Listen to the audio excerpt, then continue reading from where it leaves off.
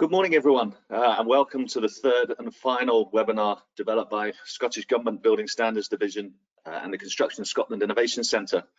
These webinars have been designed to support a three-month targeted consultation of a draft Scottish advice note uh, to determine the fire risk posed by external wall systems in existing multi-storey residential buildings.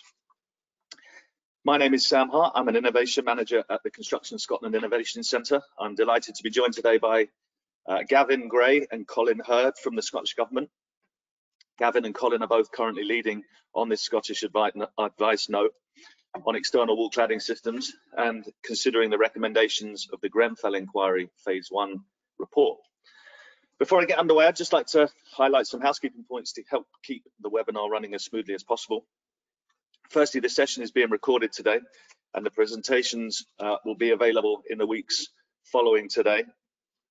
All participants are on mute for the duration of the webinar, but I do encourage you to please ask questions throughout. To do so, click questions in the control panel, type in your question and press send. We'll try to answer as many as we can during the Q&A session.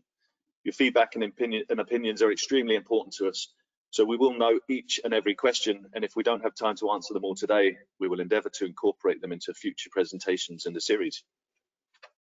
We'll have some interactive polls displayed on your screen in between each of the segments today. Please answer them and we can display the results for everyone to see during the webinar. This will also help inform the direction of travel for the project. And finally, we will be sharing videos during today's webinar.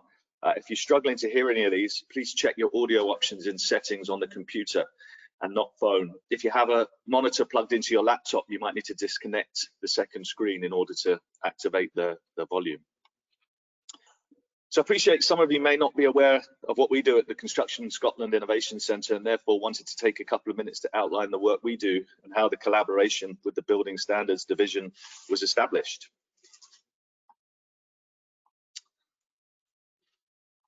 Okay, so CSIC firmly believe that innovation is about change that unlocks value.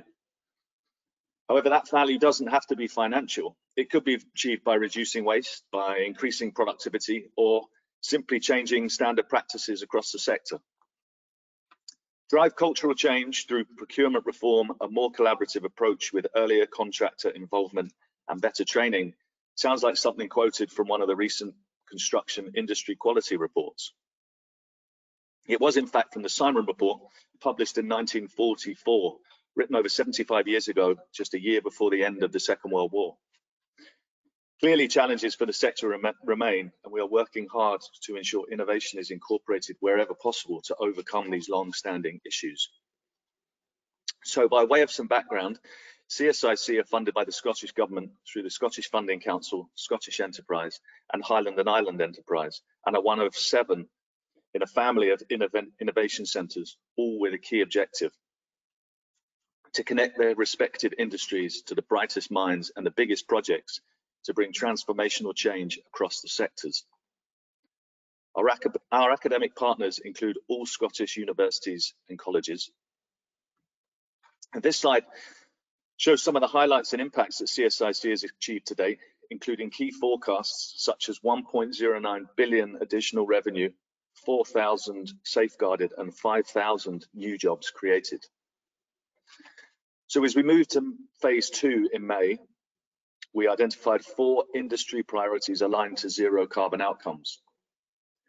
Digital transformation, accelerating industrialization, building sustainably, and culture change. To do this, we have four core activities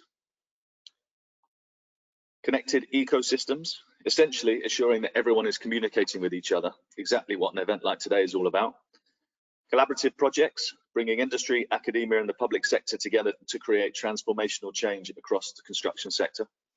Future skills, addressing the identified skills gap through bespoke projects to support students through their qualifications, upskilling existing workers to ensure their skills remain relevant, and training the trainers to build capacity in the UK education and skills system and ensure colleges, universities and training providers are well placed to respond to the growing UK construction industry. And last but not least, the Innovation Factory. the UK construction industry's first dedicated digital manufacturing, prototyping and future skills centre of excellence. And rest assured, it doesn't look quite as tidy as that today. Some of our recent work, which aligns with today's webinar, includes a large fire and use project in collaboration with the Structural Timber Association and the University of Edinburgh, with full-scale fire testing certified by the UK's leading fire expertise. The guidance and pattern book approach is a UK first. The project has particular re relevance given, the, given that approximately 85% of Scotland's homes are built using timber. Further work includes my own secondment across, across to Scottish Government to develop a compliance plan approach to construction projects on behalf of the Building Standards Futures Board, set up to provide guidance and direction for the recommendations made by the review panels formed by the Ministerial Working Group on Building and Fire Safety. I do therefore have some experience in this arena, but I am keen to hand over to our expert panelists to give you some detailed information on today's topic of external wall cladding systems. However, before we do, I'd like to take the opportunity to ask you all a question. So can we have our first poll, please?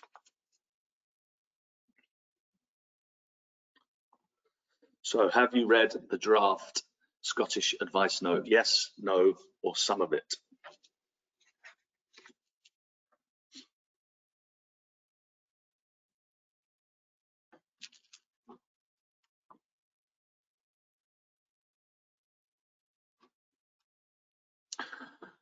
Okay, so 33% uh, have read it, 44, 47% apologies haven't read it, uh, and 20% have read some of it. So there's there's some knowledge um, in the audience so far, but obviously we've got our expert panelists here today to to give us further information. Um, so that's enough from me. Let's move on to some more technical information around the Scottish Advice Note from our first panelist, Gavin Gray. Gavin is a serving station commander in the Scottish Fire and Rescue Service. He has many years experience as a fire safety enforcement officer and is deputy head of fire safety enforcement. In 2005, he was seconded to the Scottish Government to assist with the introduction of new fire safety le legislation apologies and supporting guidance. For the last 18 months, he has once again been working on secondment to assist in implementing recommendations made in light of the Grenfell Tower tragedy. This included the production of fire safety guidance for those responsible for fire safety in high-rise domestic buildings and fire safety leaflets, which were issued to all high-rise residents in late 2019, early 2020. He was also responsible for producing fire safety guidance for specialised housing, which was published in January 2020. Gavin pre-recorded his ele element of the webinar, so could we start his presentation, please?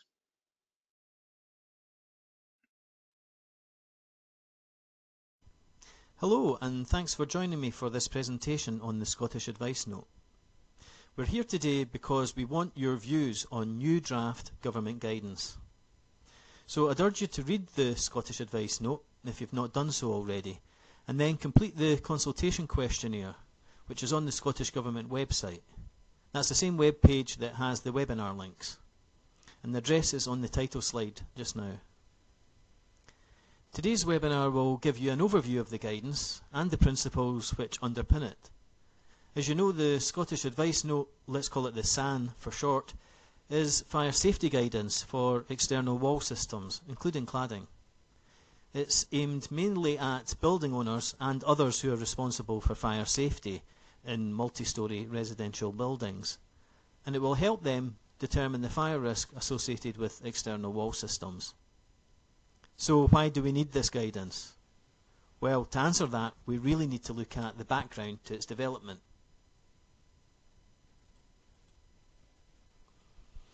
After the Grenfell Tower fire in 2017, the Scottish Government immediately established a ministerial working group, which oversaw three reviews of building and fire safety to help ensure that people are safe in Scotland's buildings. Two reviews looked into the building standards regime which applies to new building work, and the other looked into the fire safety regime, which applies to existing high-rise domestic buildings. So one building standards review focused on the fire section of the technical handbook guidance. That's guidance for compliance with building regulations. The review made recommendations which led to changes in requirements for cladding systems and other fire safety measures. Another review looked at compliance and enforcement of Building Standards, and many of its recommendations are being taken forward by a newly established Futures Board.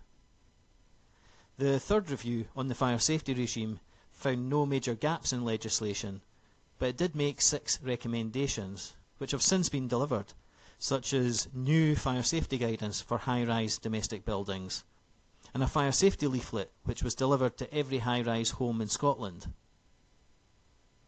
Also, an inventory of high-rise domestic buildings in Scotland was compiled to better understand the fire safety situation and to use as a basis for further improvement.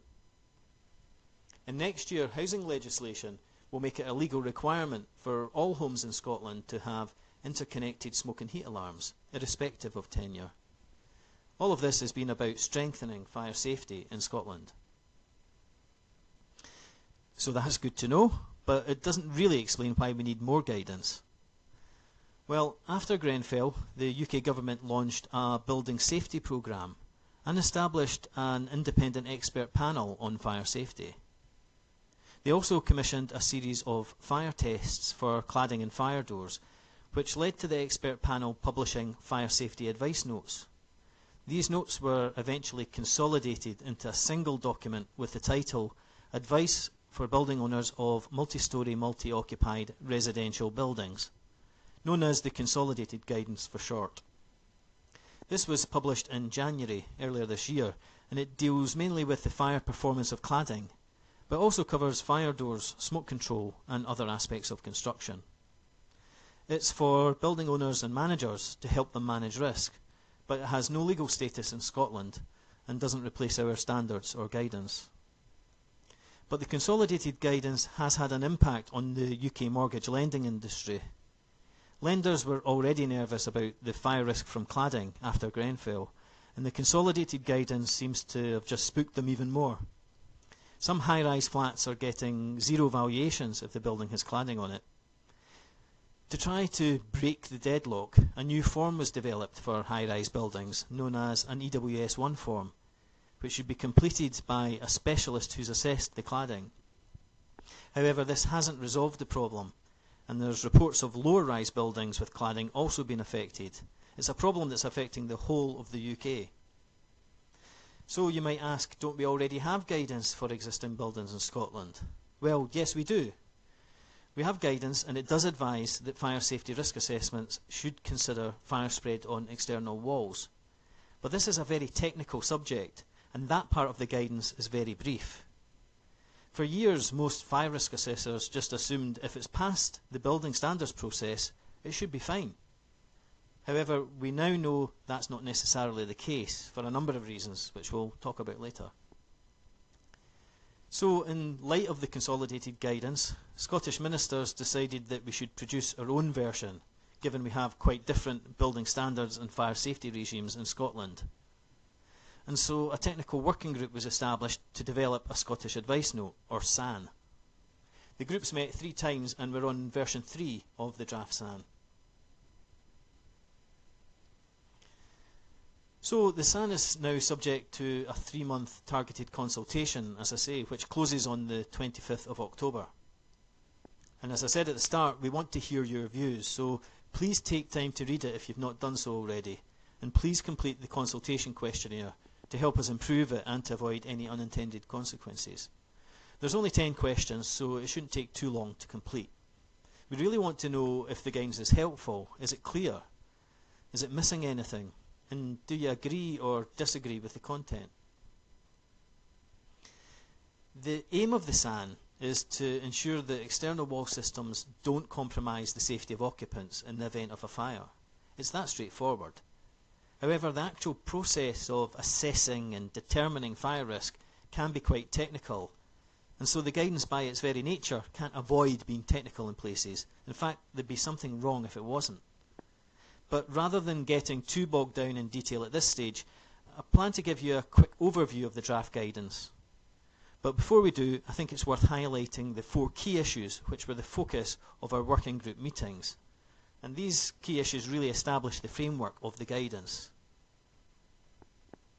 So firstly, the range of premises within scope. Should it mirror the English Consolidated Guidance or be different? In the end, it was decided to mirror the English guidance to avoid having any gaps. Secondly, it should be risk-based. That was the clear consensus of the technical working group. So the role of the fire risk assessor and other supporting specialists formed a big part of our discussions. Also competence, a key theme from Dame Judith Hackitt's review of building regulations and fire safety. And it's something that's been taken forward by the industry response group.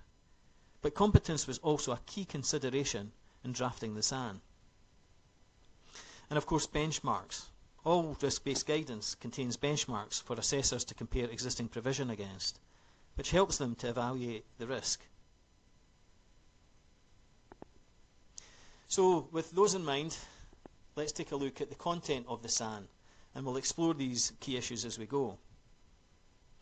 The SAN is split into three parts. Part 1, the introduction, Part 2, external wall systems, and Part 3 covers interim measures where unsafe cladding or external wall systems have been identified. Section 1.1 explains that the purpose of the SAN is to assist building owners and managers determine the fire risk posed by external wall systems. It's aimed at them because at the end of the day they're responsible. But of course, only competent risk assessors should undertake the fire safety risk assessment. So it will be of great interest to them and to any other experts whose services may also be required, such as surveyors or engineers. The guidance covers cladding systems, spandrel panels, window infill panels, balconies, solar shading, and any other architectural feature or attachment to the external building structure. In the SAN, we describe these collectively as external wall systems, and the guidance will help identify any unsafe systems which require remedial action. Section 1.2 covers the scope. So, as we said before, it applies to existing multi-storey residential buildings, basically anywhere with sleeping accommodation, like domestic blocks of flats, student accommodation, including halls of residence, hospitals or other premises with overnight patient accommodation, care homes, hotels and hostels. The scope also makes it clear that the SAN is about life safety we don't cover property protection or business continuity. Also, the SAN contains links to existing fire safety guidance for information on fire doors and smoke control. So its focus is squarely on external wall systems. Then there's sections on the fire safety and building standards regimes in Scotland. In 1.6, the role of benchmarks are explained, which I'll cover in more detail shortly. Section 1.7 explains how fire safety risk assessments should cover all fire hazards and risks, including external wall systems, and then goes on to say that more detailed appraisals by specialists may be, may be required in some cases to inform the risk assessment, but I'll come back to this later. Section 1.8 covers competence. The SAN offers information on how to find competent fire risk assessors and other specialists, such as chartered surveyors and fire engineers. As a rule, nobody should undertake work they're not competent to do. For instance, some risk assessors may be competent to only assess certain buildings. Some will limit themselves to simple lower risk buildings and won't assess higher risk or more complex buildings. And some may not be competent to assess certain aspects of construction, such as buildings with fire engineered designs or external wall systems. The building owner or manager needs to know that whoever undertakes the risk assessment is competent to do so for their building. If a risk assessor has doubts over the safety of an external wall system and is competent, it's likely that further investigation by a specialist surveyor or engineer may be required. This can also be the case for other aspects of construction, such as an assessor may recommend a structural survey of voids and ducts in older buildings Section 1.9 covers documentation that may be available to help a risk assessor to determine whether an external wall system is safe or if a more detailed appraisal is required. Section 1.10 describes the more common types of external wall cladding such as MCM, which stands for metal composite material, and HPL, high pressure laminate. Section 1.11 explains how British Standard 8414 large-scale fire tests and related test criteria in BR 135 can be an alternative route to compliance under Scottish building regulations and how these tests have been used to determine the fire performance of different systems. Finally, part one rounds off with some fire statistics, just to give some context to the scale of the issue in residential buildings. So part two looks in more detail at different types of external wall systems and offers benchmarks and guidance which should help to determine the level of fire risk.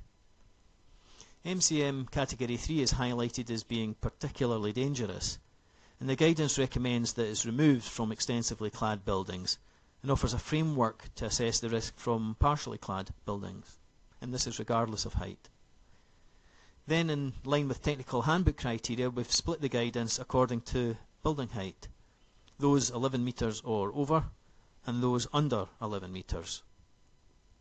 The remainder of Part 2 considers other features such as spandrel panels, balconies, other attachments, and green walls. Part 3 then covers the interim actions to be taken and measures to be put in place where unsafe cladding has been identified. These are short-term fixes until the system can be properly remediated. So hopefully that gives you a feel for what's in the guidance. Let's now pick up on some of the key themes that I said I'd come back to. I mentioned the role of the fire safety risk assessment a few times now, but it's maybe worth a bit more discussion to cover the linkages between the risk assessor and other specialists. So by its nature, the assessment is a wide-ranging exercise, and the fire risk assessor frequently relies on specialists to undertake specific assessments and provide reports, which then inform the overall fire safety risk assessment. So we have some examples here, such as gas and electrical safety. Qualified gas engineers and electricians carry out inspections and servicing, but fire risk assessors need to review those reports as part of their fire safety risk assessments. Structural reports by surveyors might be required to identify hidden voids and ducts in older buildings, which could lead to hidden and rapid fire spread. If a report is available, it will be reviewed by the risk assessor, or possibly recommended by the assessor if deemed necessary uh, and it hasn't been carried out. If fire engineered solutions underpin the design of the building, then risk assessors would have to ensure their risk assessments took this into account. Fire alarm servicing and maintenance, again, usually carried out by specialist engineers in line with British standard recommendations. The reports are reviewed by risk assessors. Similarly, for external wall systems, risk assessors should review any detailed appraisal reports if they're available, or consider whether a detailed appraisal by a surveyor or fire engineer is required. So let's now take a closer look at what the guidance has got to say. But first, just a few words about using the benchmarks. They're used by risk assessors to help them make judgments about risk. It gives them something to compare existing provision against. For external wall systems, the benchmarks are derived from building standards guidance. But the risk assessor should also take account of the UK government's fire test results, which are reproduced in the SAN. The important point to bear in mind is that the benchmarks aren't prescriptive standards, they're comparators which need to be used flexibly. It's fair to say, though, that significant deviations from the benchmarks will involve greater risk, so are more likely to require remediation, whereas minor deviations may not. But it's a judgment that needs to be made by a suitably qualified professional. Our guidance for MCM Category 3 is a bit different to the rest of the guidance. It's deemed to be so dangerous that we're advising it should be removed as soon as possible, regardless of building height. No benchmarks needed to make a judgment, at least for buildings which are extensively clad in it. As I said, MCM stands for metal composite material, usually aluminium, zinc or copper, and category 3 is the most combustible. Grenfell Tower had ACM category 3, an aluminium panel with an unmodified polyethylene core which has since failed a large-scale fire test. Thankfully, very few buildings in Scotland are thought to be extensively clad in MCM Category 3. For buildings that are partially clad with MCM Category 3, uh, more detailed risk assessments required. and the SAN has examples of where cladding may need to be removed. For example, where it crosses fire separation lines or cavity barriers, if it's located near entrances and exits, or where falling debris could pose a risk, or near ground level where it could be potentially ignited by an external source. The SAN also highlights other factors such as the distance between the panels, the position and extent of the panels, concerns over installation, and so on. So that's MCM Category 3 guidance, which applies regardless of height. As I said earlier, for the rest, we've split the guidance into two, buildings that are 11 metres or over, and buildings under 11 metres. Splitting it like this follows the approach taken in the technical handbooks. The 11 metre threshold comes from the reach of a fire service ground mounted water jet, assuming adequate pressure and flow in the water main and also external rescue above this height is more difficult and requires specialist height appliances and adequate site access for them. Therefore, more stringent requirements apply over 11 metres. This is where the benchmarks need to be used flexibly, and it's important to consider the results of the UK government fire tests here too. It's possible for some buildings to fall short of the benchmark without actually posing an unacceptable risk. It depends on a, a large range of factors, including how far off the benchmark the system is. So each risk assessment needs to be building specific, and the key question must always be whether the external wall system poses a significant risk to life. So for buildings of 11 metres or over, the benchmark is European classification A1 or A2, which is either non-combustible or very limited combustibility. As I said before, the technical handbooks allow for an alternative method of compliance, so a system which has undergone a large-scale fire test and met certain performance criteria may be acceptable. Of course, it's likely that some systems on existing buildings won't meet this benchmark. They may be Class B, or even maybe Class O, which relates only to the surface spread of flame. These may or may not be safe. Further information is required to make a determination. The combustibility of the core filler materials, which are sandwiched between the panel surfaces, may contribute to fire spread. Class B may be acceptable if the core filler material and the insulation behind the panel achieves Class A2 or better, but this should be subject to advice from a competent specialist and supported by test evidence. The SAN includes information on large-scale fire test results for different types of MCM and HPL systems, but I'm not going to say any more on this as Colin will cover this in his presentation. But what I will say is that it's important to consider the results of these tests if the system on the building doesn't meet the benchmark. For buildings under 11 metres then, the technical handbooks allow more combustible forms of cladding, such as class B, C, D or even E, as long as they're not too close to an adjacent building. Even though the risk may be lower for buildings under 11 metres, they still need to be considered in the risk assessment. Remember the 11 metre threshold is based on fire service operations, but even in buildings under 11 metres, access for fire service vehicles may be challenging and the, way, the mains water pressure could be poor. Not only that, future changes could also impact on risk, so it should be a guiding principle of the risk assessment that occupants can escape safely without an over-reliance on fire service intervention.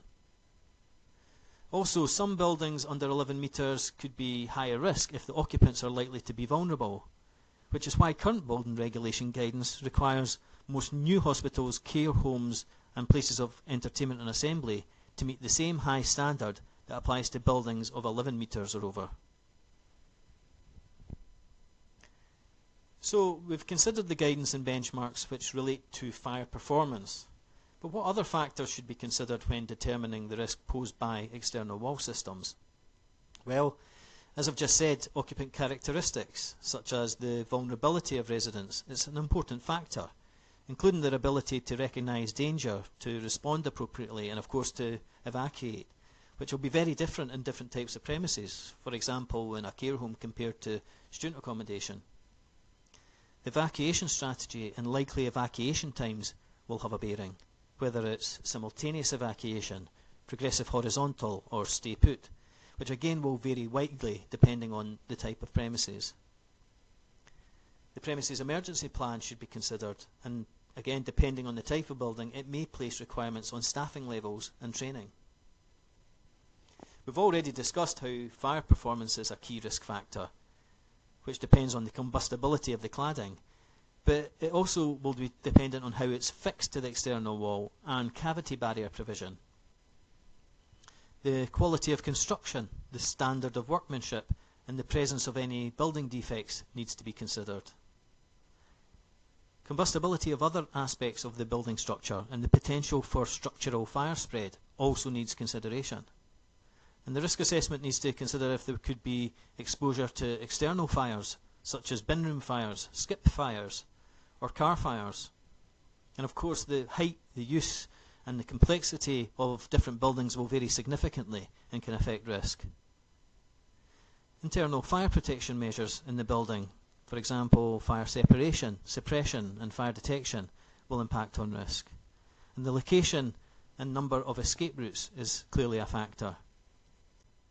The suitability of firefighting facilities, including site access and water supplies, will also impact on risk. So all these factors will have a bearing on the risk posed by external wall systems. I've said several times now that the risk assessor may need to be supported by specialist wall appraisals, but under what circumstances? Do all buildings need to undergo an expensive and intrusive detailed inspection, as well as a fire safety risk assessment? To answer this, we need to go back to first principles. The building standards system requires building developers to comply with building regulations. The regulations contain mandatory requirements, including in relation to external fire spread. The standard states that every building must be designed and constructed in such a way that in the event of an outbreak of fire within the building or from an external source, the spread of fire on the external walls of the building is inhibited. The technical handbooks then provide guidance on combustibility requirements to meet the intent of the regulations. So developers are responsible for compliance with the regulations, but they're also subject to verification by local authority verifiers, local building standards teams. So if they're verified as compliant, not all buildings might require a full intrusive appraisal, any more than they would need a detailed check of any other safety critical aspects of their construction. So the SAN suggests the following approach. The fire risk assessor should review the available documentation relating to the external wall system and may conclude that it's unlikely to pose a significant risk to life and that a full appraisal is therefore unlikely to be necessary. But where the risk assessor has doubts, or is unable to conclude the system safe, or feels unable to offer appropriate remedial advice, then a suitably competent specialist, such as a chartered fire engineer or surveyor, is likely to be required to undertake a full detailed appraisal. So what specifically might raise alarm bells and prompt a specialist wall appraisal? Well, if the type of cladding or insulation is unknown, then an appraisal will be required to identify what it is and its fire performance characteristics. If there's a lack of supporting records or gaps in documentation, then an appraisal could be required. Where there's evidence of systemic problems with a particular product, or a manufacturer or installer even, then more intrusive investigations likely to be necessary. If there's doubts over whether the system is built to spec, does it reflect the system as originally designed and tested? Are there grounds to suspect there may have been product substitution? Again, an intrusive inspection and an appraisal by a specialist is likely to be required. Test evidence can be a trigger. If the system's failed a large-scale fire test, or the test evidence shows an over-provision of cavity barriers, or if the risk assessor has doubts over whether large-scale testing is even appropriate for the type of premises in question, and doubts about the independence of the testing facility might also trigger an appraisal. These are the sorts of things that might lead to a full external wall appraisal by a specialist surveyor or fire engineer. Key principles. To summarise then. Fire performance is a key factor to consider in the risk assessment, but it's not the only factor. There's also the need to consider the height and the use and the complexity of the building, the occupant characteristics, the evacuation strategy, the quality of construction, of course, as well as other fire safety measures provided in the building. Appraisals by specialists might be required to inform the fire safety risk assessment if there's doubts over the safety of the external wall system. So the specialist who undertakes the appraisal also needs to be a competent fire risk assessor to ensure that the full range of risk factors are considered in relation to the external wall system. If the appraisal specialist's not able to do this, then a suitably competent fire risk assessor needs to make sure that the appraisal report informs their risk assessment. Not all risk assessors will be able to do this, of course, but it's important, really important, that building owners and others ensure that only people that are competent to make the judgments are allowed to do so. So that completes the overview of the Scottish Advice Note. What are the next steps then? Well, the three-month targeted consultation ends on the 25th of October. We've arranged three webinars in total and a number of meetings with key stakeholders, including residents groups. We then plan to recall the technical working group to consider all the feedback and to agree a final version for publication, hopefully around November time. And of course we'll monitor and evaluate the impact of the guidance after publication and improve it further if required. So hopefully that was useful and set the scene for you. Colin will now demystify some of the testing and performance aspects that I've talked about, including the results from the large-scale fire testing that took place after Grenfell. Thanks very much for listening. Thank you.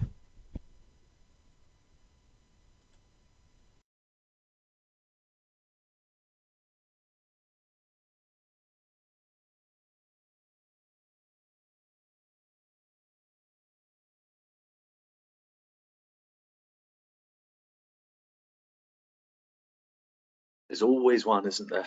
Uh, a very informative and comprehensive presentation. Thanks, Gavin. Um, next, we have some more audience participation. So could we have the second poll, please? Okay, risk assessments should have a consideration of external wall systems, but how many buildings require a full intrusive appraisal? Most, about half, few, don't know.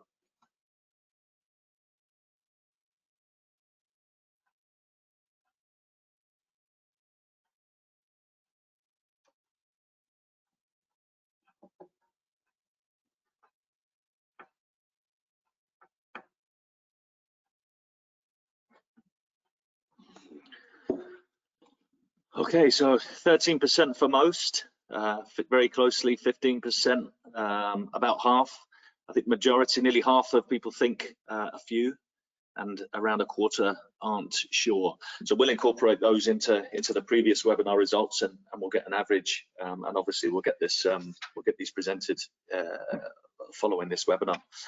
Um, our next presentation focuses on fire testing and performance of external wall cladding systems and will be delivered by Colin Hurd. Colin joined the Scottish Government in 2001 in his role as Head of Fire, Structure and Environment within the Building Standards Division. Colin led technical reviews on structural fire precautions, escape, fire and rescue service facilities, automatic fire suppression systems and structural Eurocodes. Colin represents the government on various technical committees and steering groups and advises Scottish ministers on all aspects of design and construction relating to fire, structure and environment. He is currently assisting the Scottish Government in their response to the Grenfell Tower fire, including introduction of the new standards and guidance in Section 2 fire of the technical handbooks that came into force on the 1st of October 2019. Colin has also pre-recorded his element of the webinar, so could we start his presentation, please?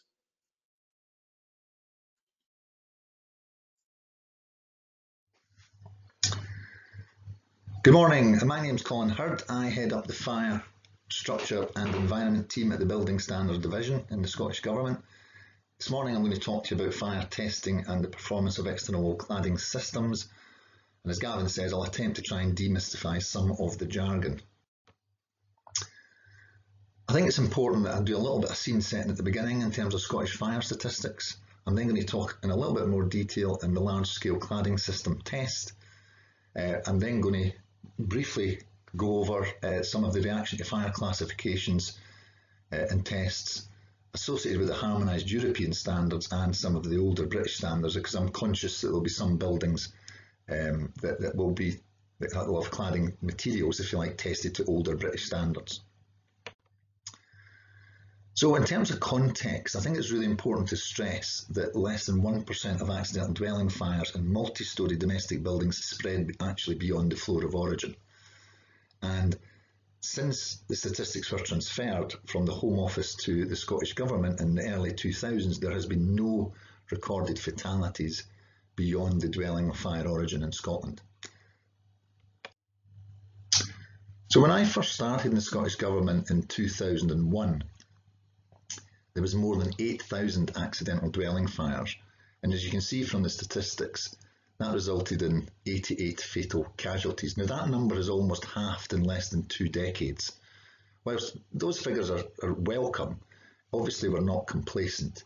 And, and, Grenfell is a stark reminder of what happens when things go badly wrong. Um, it's interesting, the statistics, that the fires in domestic buildings, there's a lot less fires in obviously high-rise domestic buildings, more than six stories, um, which resulted in 49 casualties and one fatality in 2019-20.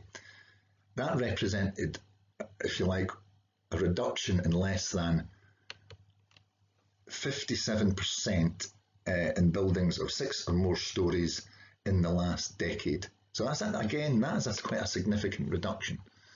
A lot of these reductions are primarily based on smoke alarms now being more prevalent in, in dwellings, but also community fire safety initiatives carried out by the Scottish Fire and Rescue Service. As you can see from this final slide on statistics, cooking appliances is still by far the highest um, cause of fire.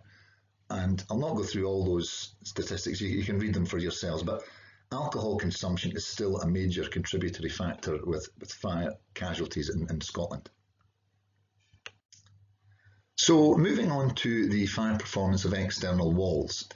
The Scottish advice note uh, that Gavin introduced you to earlier refers to this document called BR 135. It was first published in 1988 as a direct result of the proliferation in thermally insulated external wall cladding systems. There was no standard large-scale fire test available at that time, um, Therefore, this was guidance only primarily targeted at architects, facade engineers, developers, etc. The test work behind the first edition um, was based on a large-scale single-faced wall. Now, the next slide I'm about to show you, if you visualise, to give, give a bit of context to this performance criteria that we have in BR135, if you visualise this next slide as a multi-storey block of flats um, with all the walls and floors constructed completely of non-combustible material. In the right conditions, I'm just going to show you the, the, the, the reasonable worst case scenario um, that, that, underpins, if you like, BR135. So we have flat, we have the, the fire in the flat of origin, spreading along the ceiling, radiant heat down onto the other furnishings, flash over, it then can break through the window or through an open window to the flat above, because of the window to window alignment and the same process continues where you have the radiant heat down, flash over, etc. Now, obviously that's in quick time, so this could repeat up all the way up the building. What I've just shown here is a hypothetical, obviously, fire service arriving by the time it gets to the, if you like, the third flat. The previous flats, if you like, are burnt out and, and that would just dampen down procedures. Um, so that gives you an idea of what can happen in a completely building constructed of non-combustible material and you can still get vertical fire spread under the right ventilation conditions. So in 1991 we had the Knowsley Heights Liverpool fire. There was no casualties in this particular incident, thankfully. Um, but what it did do is it, it showed the contribution that the sidewall or the wing wall contributed to the fire. This was investigated by the Building Research Establishment and it was clear that the radiant heat back into the fire generated additional energy and the fire almost like creating its own vortex as well. So there was a need identified to introduce a, a side wing, if you like, to the test methodology. And that was done through B, um, the Fire Note 9 um, that was published by the Building Research Establishment in July of 1999. Um, the next slide I'm about to show you is uh, a similar fire, but in Scotland, um, primarily involving the uh, infill panels, if you like, below the window. So, so window to window vertically aligned with infill panels below. And this was in uh, Irvine in Scotland in, in Garnock Court in 1999. So again, similar scenario, fire in the room of origin, spread either through flash, flashover out onto the external, through the window on the external wall, bearing in mind very rare for that to happen with statistics. But what was significant about this fire is it spread up so rapidly up these um, external uh, window infill panels that by the time the fire service actually arrived, there was like at least six, seven living rooms on fire, um, which was quite significant because I think the fire service were there within six minutes of the call, if you like. Um, so again, that was that was investigated by by the, the, building research establishment, and again, all of this evidence, if you like, feeds into further reviews, if you like, of of the um, performance criteria, assessment criteria of BR135. And there's a picture of it in, in uh, real time. There was, a, unfortunately, there was one fatality in that particular incident, but not in the dwelling, in the dwelling of fire origin. Um, but yeah, it's, it's, it was quite a significant uh, fire. So the test methodology was first cited in building regulations in March 2002 um, as an alternative means, if you like, of compliance. The, this was the predecessor of what we now know as BS 8414. A further change was made to building regulations uh, on the 1st of May 2005, where external wall cladding and the insulation exposed in the cavity, if you like, immediately behind the cladding on high-rise domestic buildings with a floor over 18 metres should be either non-combustible or meet the performance criteria in BR 135 when tested in accordance with BS 8414. At that same time, we also introduced uh, automatic fire suppression systems in all high-rise domestic buildings, uh, again with a floor over 18 metres. So following the tragedy of the Grenfell Tower fire, uh, the UK government embarked on a series of fire tests. Initially they offered free screening tests to the whole of the UK based on the bomb calorimeter test. The purpose behind that test was really just to assess, if you like, the core material of this, the product. It was called aluminium composite material. Um, very thin panel. I'll show you a picture of that in a moment. There was three categories that were identified. Um, basically, category one with less than three megajoules per kilogram is almost uh, non-combustible, if you like. Um, and categories two and three, there's quite a range in the, category two between greater than three and less than 35 megajoules per kilogram. And category three that was found on Grenfell, according to the phase one inquiry, um, was more than 35 megajoules per kilogram. So there's there's three distinct categories, if you like, of aluminium composite material that was on that's on the market. Um, that was then followed up, if you like, by seven full-scale facade tests to BS 8414 Part 1 with a masonry substrate. So this is what aluminium composite material uh, looks like. Um, this one is a, with the PE, the polyethylene filler, uh, unmodified, which is the category 3 that I just referred to earlier. It's got 0.5 millimeters aluminium on, the, on both faces, sandwiched by a core of, as I say, polyethylene material between about 3 and 7 millimeters, so a very thin uh, product. So this slide shows you how the ACM cladding system uh, is mounted, if you like, on a masonry substrate. We have the insulation material exposed in the cavity here, um, the support rails, as you can see here and here, to the actual ACM, if you like, cladding panels themselves uh, mounted in a vertical or it could be horizontal alignment uh, with, with or without gaps, etc. So that all adds to the complication of the te testing. What's being tested should be constructed on site. That is very, very important. I'll talk about that a bit later.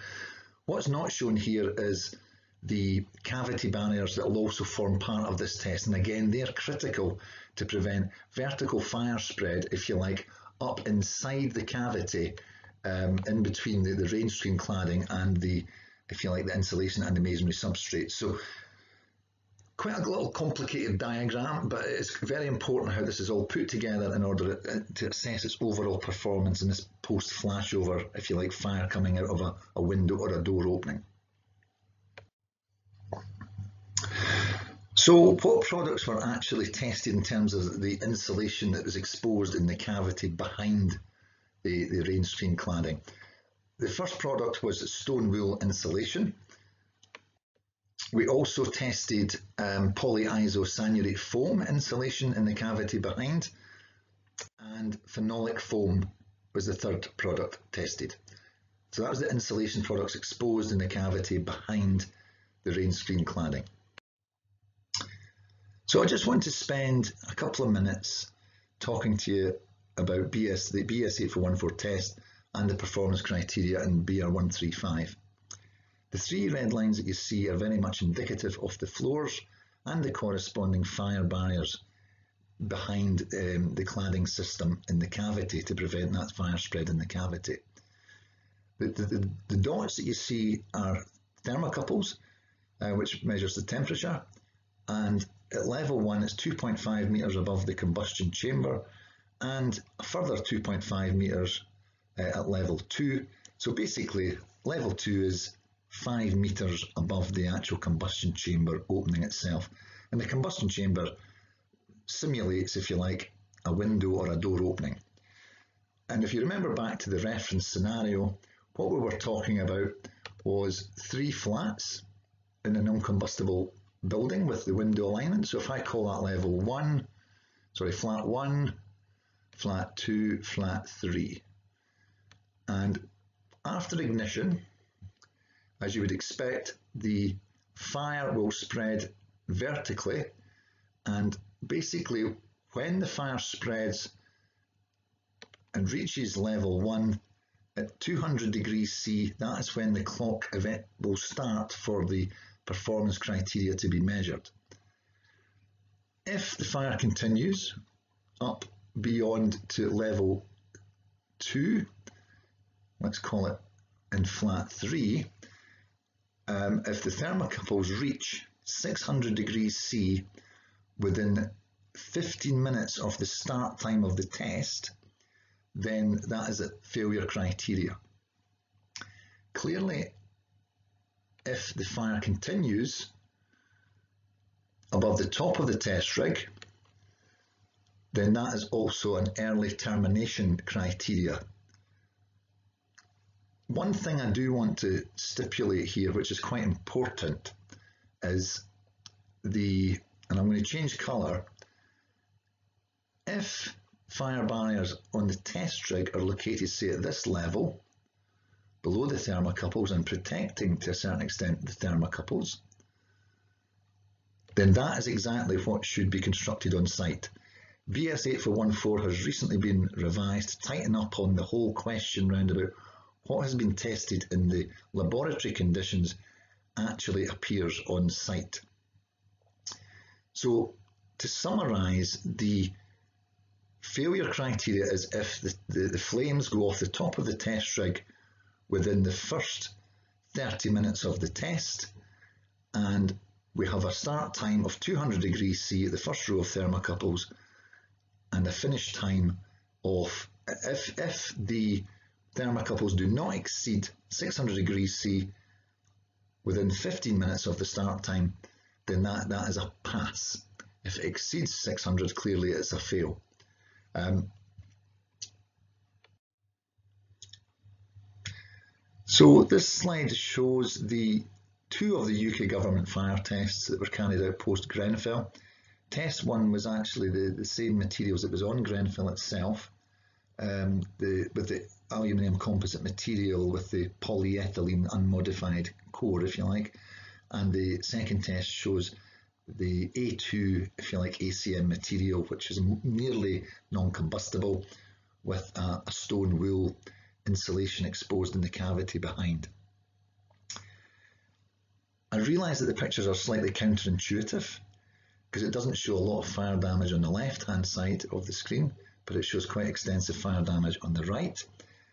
But just to explain to you that when the test, you can see here from the crib that there's not a lot of the crib involved in the actual fire, and that's because obviously the fire spread vertically and bypassed, if you like, the, an awful lot of the uh, the cavity wasn't particularly involved in the fire in this particular test, and the fire bypassed a lot of the cavity barriers behind the cladding, went off at the top of the test rig within 6 minutes and 35 seconds from the start time, so that was that first row of thermocouples. Um, so that was terminated early. Remember the test itself has got to last for a full 30 minutes. It's then extinguished um, and the it stands for a further 30 minutes to see if there's any secondary fires or any further uh, fire spread. So that's why the two pictures are probably a little bit counterintuitive, simply because the full-scale test over here, which was carried out with the non-combustible products, shows a bit more damage, but it lasted the full duration of the fire, and, and, and the fire did not spread beyond what you can see there. So it didn't go above the top of the test rig, and it, it passed the actual criteria. So that was with test six was, was, was with the A2 product, the non-combustible, if you like, or limited combustibility ACM with stone wool in the cavity. So this was a summary, if you like, of all seven tests that were carried out. As you can see, tests one, two, and three were all terminated early because the flames extended above the top of the test rig within 30 minutes. The um, test two uh, with stone wool uh, and um, the, the polyethylene core very much performed very similar to the polyisobate foam insulation exposed behind the rain screen cladding, um, which just goes to show that the actual product itself, the you know the ACM with the polyethylene core, it's it, it just bypasses, if you like, those compartment lines, and that's quite critical when it comes to vertical fire spread. The, the slightly more um, robust ACM cladding that has got the FR, so that's a slightly more, if you like, mineral content in it, and it's called fire retardant FR. Um, with the PIR, the polyisocyanurate foam, it failed 23 minutes, 22 seconds into the test because again, the flaming it was sustained um, two meters, if you like, above the top of the test rig. We have passes with uh, test four, five, and six, as you can see, um, as we're moving towards a more non-combustible, if you like, um, performance criteria. What's quite interesting about test number seven is, although it was very close to the 30 minute um, criteria for extinguishing the crib, the, the flames did go over the top of the test rig in two minutes, 26 minutes, sorry, um, and 19 seconds. Since those tests have been carried out, industry has performed their, their tests in UKAS accredited test houses and actually pass that. So I think that just goes to show that small changes in the, say, the gap sizes between panels or positioning of cavity barriers, etc., does have a significant uh, impact, if you like, on the pass-fail criteria. So it's really important to stress what is tested in the factory actually is what is constructed on site.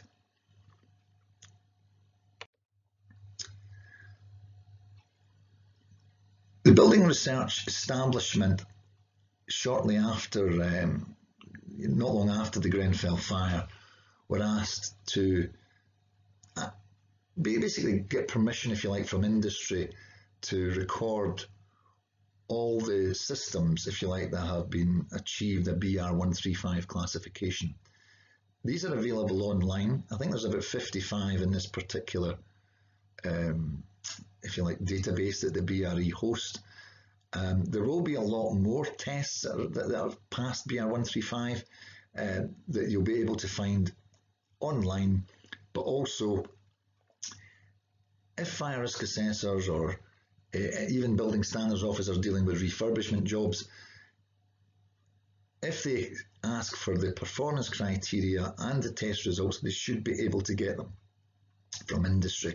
This is really important because it'll identify how the system was tested, how it was constructed, how it was fixed, what the gaps are between the panels, the position of the cavity barriers, etc., etc. And that is the key point that, that really needs to be uh, hammered home in terms of uh, compliance, if you like, with building regulations. So moving on to the European reaction to fire classifications, um, it was introduced in the, the, building regulations of Scotland in the early 2000s. Um, as you can see from the slide there, A1 is best, that is in effect non-combustible, and F is the worst. I've purposely put this slide on because we used to have this in uh, the technical handbooks and the building regulations. I, I, do want to stress, however, that, it's not a straight read across. So the British Standard class is not, or the test, sorry, the tests for British standards are not identical to the European. So you can't do a read across. It's an either a European test or a British standards test. Some products are obviously tested to both, but um, the two different tests, as I'll explain just in a, in, in a moment.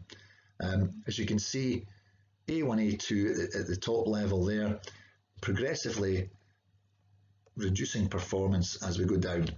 Um, and I'll just explain that in, in a moment. Um,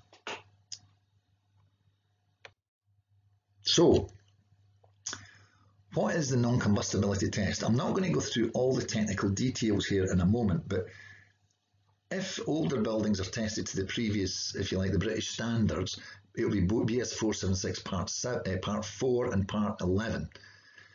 Both those tests are almost identical, if you like, um, to, to, to, this 1182 scenario. Um, so, five samples, a small product, very small, um, tested in a furnace, 750 degrees. Clearly, if the fire goes in the real world goes beyond 750 degrees, the, the, product might perform slightly uh, worse. An awful lot of fires are below 750 degrees C. We, we get flashover between 5, 600 degrees C-ish, maybe a bit higher. Um, so it's a very robust test. It's put in a furnace, pre, pre-calibrated at 750 degrees C, and we, we measure the, the um, temperature rise, if you like, um, between the, the specimen and the, and the actual furnace. So that's the three criteria that is measured. Is there any sustained flaming of the product? What is the mass loss of the product? And what is the increase in temperature? And again, the test lasts for at least 60 minutes.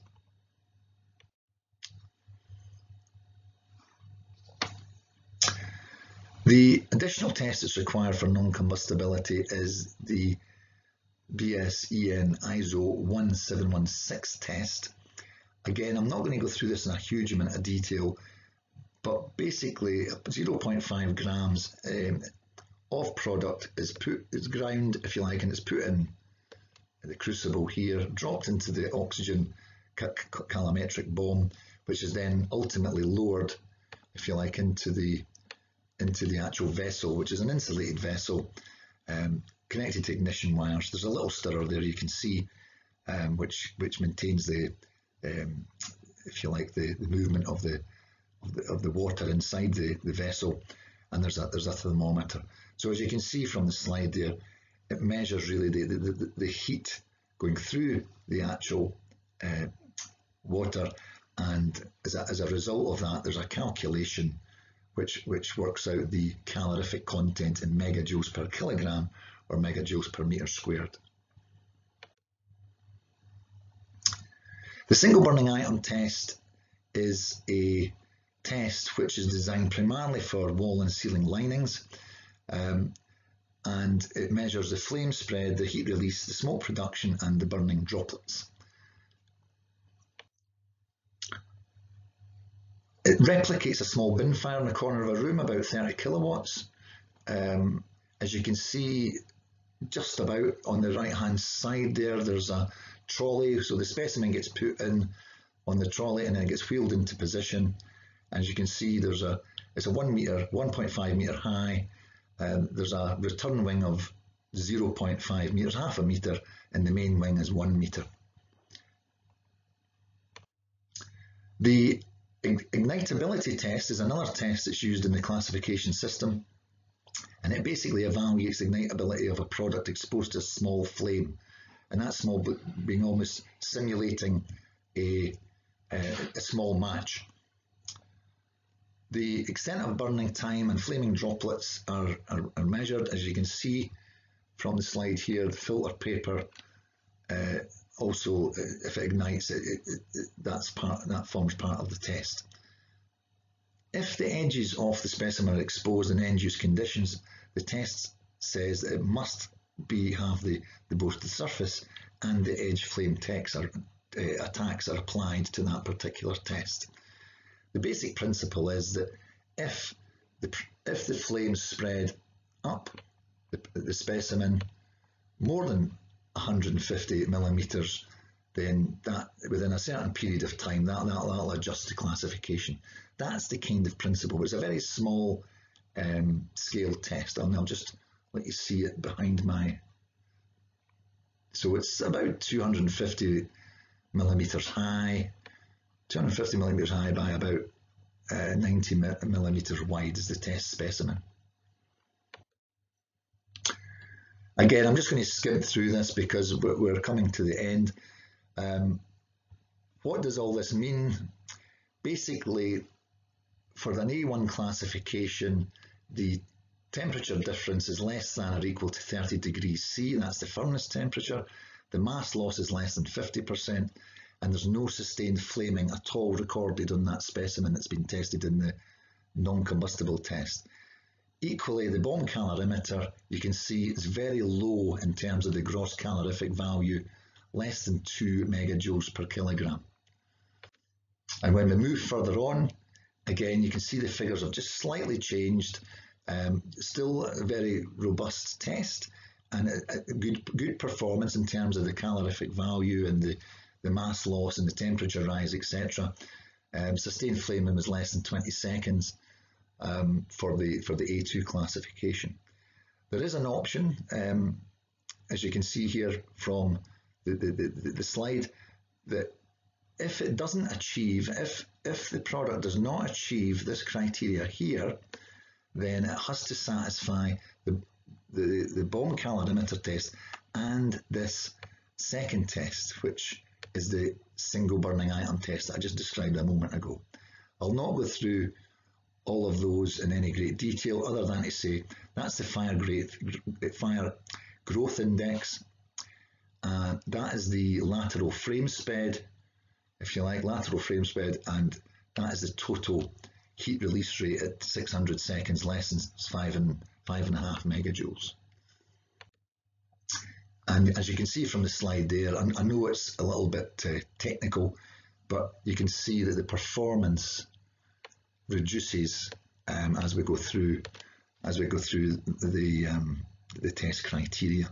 So much so that at the bottom we have um,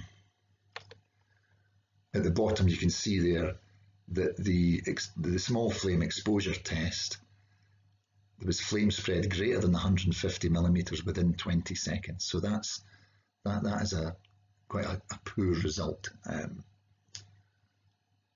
so they're basically scenario tests. They're not really intended to simulate. So just a couple of slides to finish really uh, in terms of the British standard tests.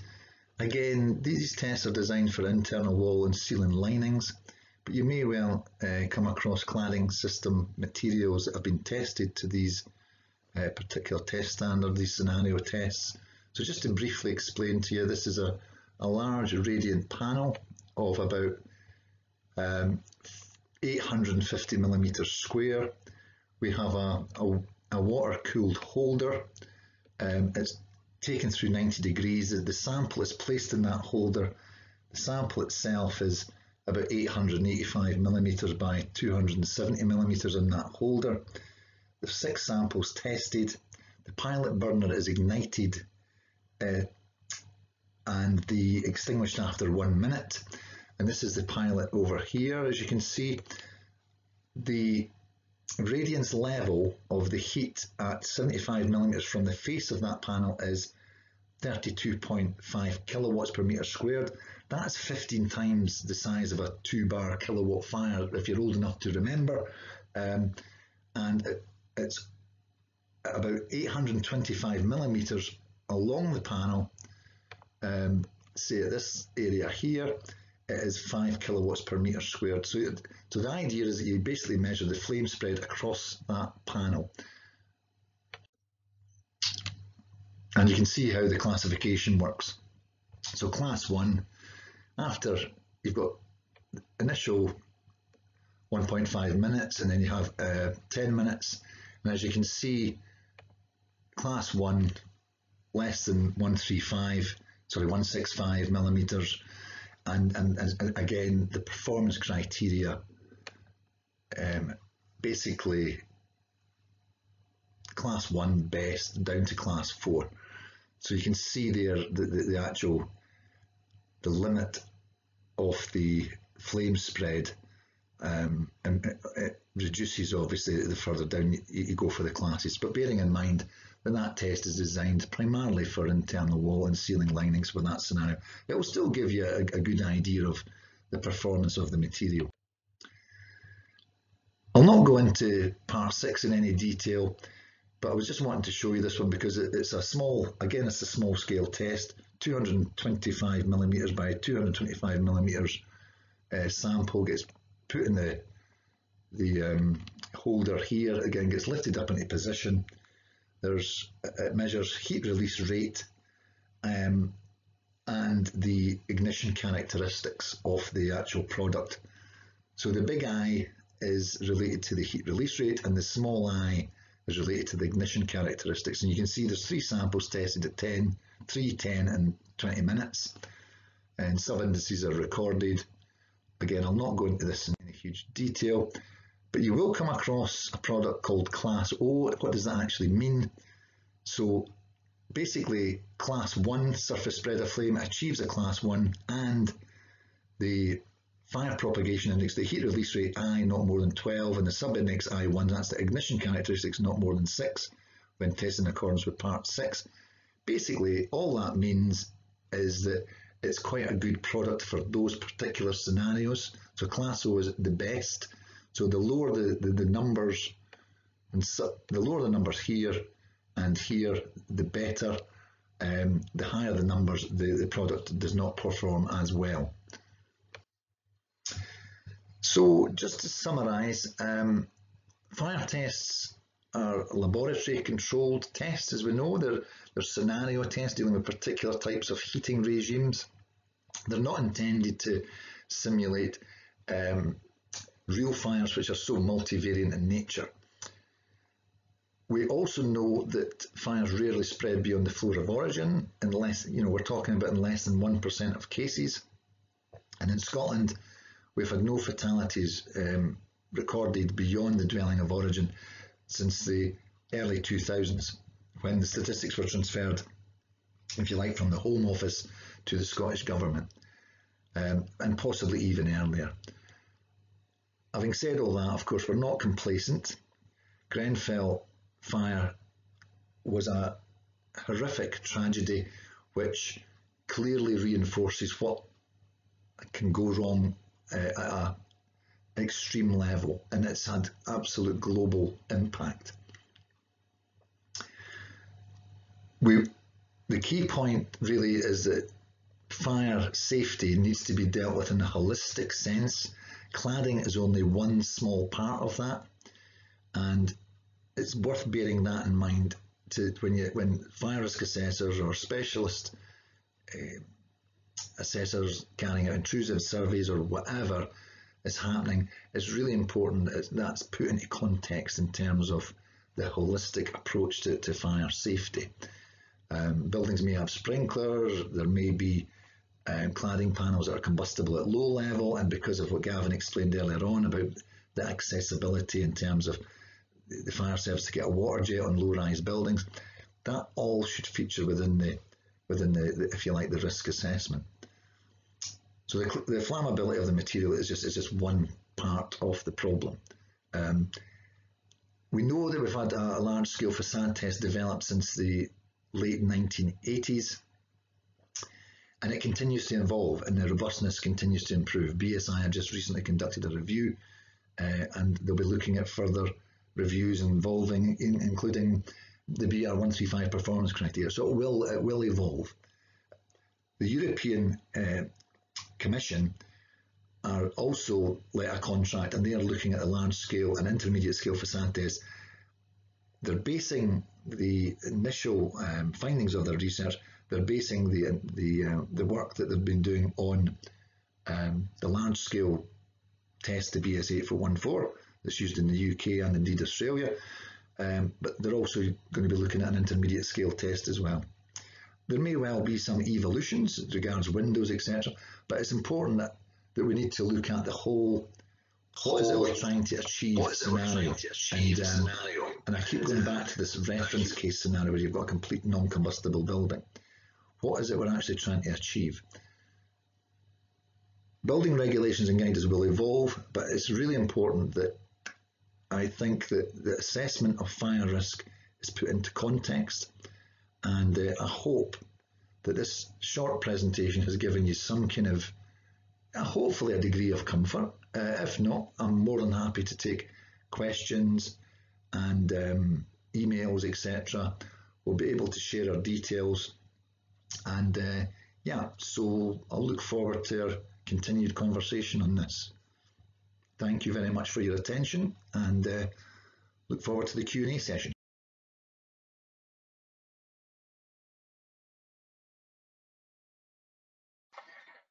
Another hugely informative and detailed presentation. Thanks, Colin. Uh, fascinating to see the amount of different fire testing that goes on across the industry.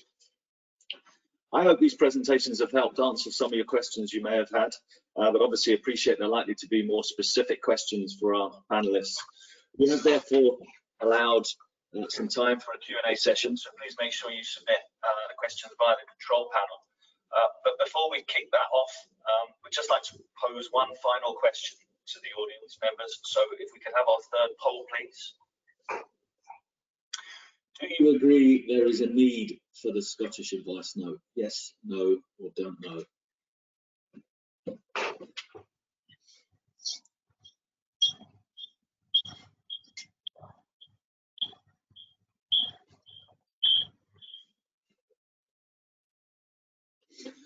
Well, a, resounding uh, yes there, absolutely nothing for the nose um, small 5% on the don't knows. So as I said, we'll, we'll incorporate this into the other um, results from the webinars, um, and I suspect we'll, we'll, we'll, have some information out following these. Um, okay, so let, we have we've, we've had plenty of questions coming in. Um, the first question um, we've got from is uh, from Anthony, and now I just need to find it. Uh, uh, the Scottish Advice Note seems to place the responsibility on the shoulders of the fire safety risk assessors and not the fire engineers. Why is that? And if they are not one and the same person, how can these people cooperate? Who has primacy? Whose professional opinion counts the most? Uh, Gavin, perhaps you could uh, perhaps you could offer some insight into that.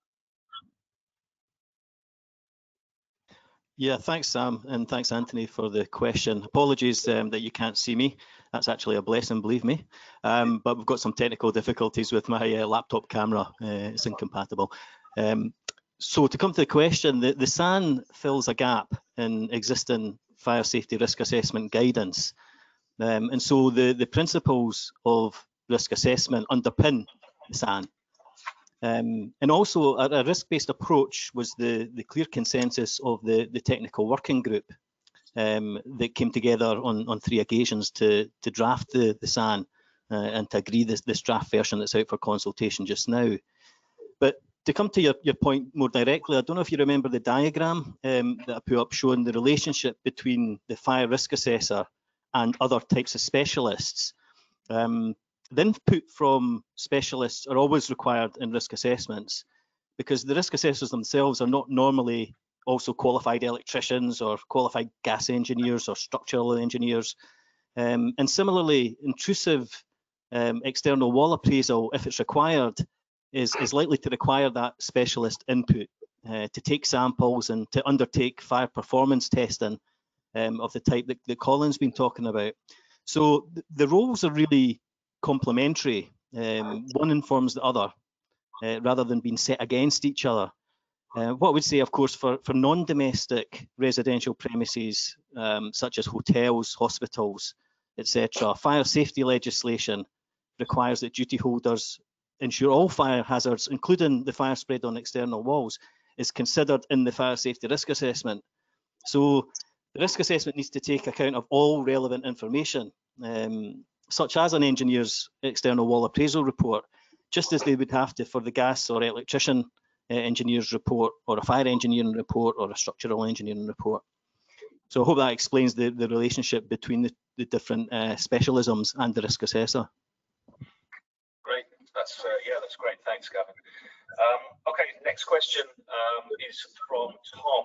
Um, and probably one for you, Colin. Could you talk about the comment um, of the over provision of cavity barriers, um, and perhaps for for the novices out there, what uh, what they mean by over provision, um, and what it is that exactly that you're considering?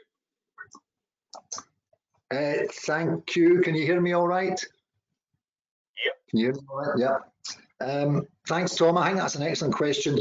You'll recall from my presentation earlier um, in one of the slides where I showed you the little yellow kind of ribbon uh, below the thermocouples on that particular, um, the large scale test, if you like.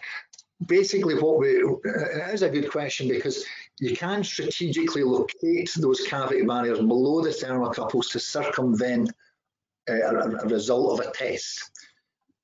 That's all fine and dandy. I've got no problem with that. The only question is that the provision of those cavity barriers should then be how they were tested in the factory, how they then go on site. So it's really quite important that the system that's tested actually replicates what is what is in place on site. So if it's X number of distance above the, the chamber, then then that's where the, the cavity barrier should be in that system test, etc. So um, I think it's quite an important question, and um, yeah, I, I, I, totally agree with it. I, I have to say that the British Standards Institution have in, recently tightened up on this very question about uh, the, the, latest British Standard BS 8414 is 2020 edition is now being published, and they have tightened up on this question about declarations of what, what's designed is actually installed uh, and, and, what has been tested. So there, there, has been a bit of tightening up on that. I have to say it's no different than I suppose any other tests. For example, the single burning item test, how how the product's mounted on that test, uh, again, is, is, how it should be in end use conditions. So, yeah, it's uh, it's a very good question, but, but um, I think if there's over provision on on site compared to what was factory tested, that is less of a problem. It's more it's more the opposite. Um, so if there's definitely more provision of cavity barriers on site than what's been tested, I don't see a huge problem with that. Okay, great, Colin. And, uh, and, continuing continuing on that theme, um, with a question asking if we could explain why the criteria is set 600 degrees C. Um, I'm assuming that's the thermocouplers, but actually you'll probably know better than me. Uh, is it glass failure temperature or something else?